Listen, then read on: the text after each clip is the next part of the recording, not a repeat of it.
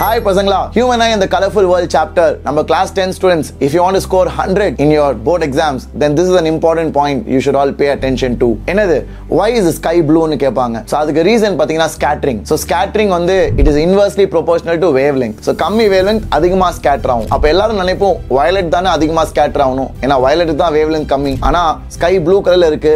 ஏன்? ஏன்னா சன்லைட் இருக்குல்ல. அதுல ப்ளூவோட காம்போசிஷன் கொஞ்சம் அதிகம் பசங்களா. வயலட்டை விட. ஆக்சுவலாக சன்லைட்ல எல்லா வேவ் லென்த்தும் ஈக்குவல் கிடையாது. ப்ளூ வந்து வயலட்டோட அதிகம் அண்ட் ப்ளூவை விட கிரீன் ஆரஞ்சு எல்லோ அந்த ஏரியா இன்னும் அதிகம் பசங்களா? ஸோ அதனால தான் நம்ம ப்ளூ வயலட்டோட டாமினண்ட்டாக இருக்கனால we see blue light to be more scattered அது மட்டும் இல்லை நம்ம கண்ணு கூட our eyes are more sensitive to blue light வயலட்டை விட நம்ம கண்கள் ப்ளூ லைட்டுக்கு more sensitive and we see them better so இந்த ரீசன்ஸ்னால தான் த ஸ்கை அப்பியர்ஸ் ப்ளூ இது மட்டும் இல்லை அட்மாஸ்பியரிக் ரிஃப்ராக்ஷன் மூலியமா தான் ஸ்டார்ஸ் ஆர் ட்விங்க்லிங் இதுவுமே ஒரு commonly asked question in board exam stars twinkle ஆகும் ஆனால் பிளானட்ஸ் ட்விங்கிள் ஆகாது ஏன்? ஏன்னா ஸ்டார்ஸ் ரொம்ப தூரத்தில் இருக்கனால அவங்கள வந்து பாயிண்ட் ஆப்ஜெக்ட்ஸாக ட்ரீட் பண்ணுவோம். பாயிண்ட் பாயிண்ட்னா புள்ளி மாதிரி ஆனா பிளானட்ஸ் வந்து கொஞ்சம் பக்கத்துல இருக்கும். ஸோ பக்கத்துல இருக்கனால we treat them as large extended சோர்ஸ்னு சொல்லுவாங்க. ஸோ அதனால stars twinkle and planets don't twinkle இந்த அனிமேஷன் மூலயமா உங்களுக்கு நல்லா புரியும்.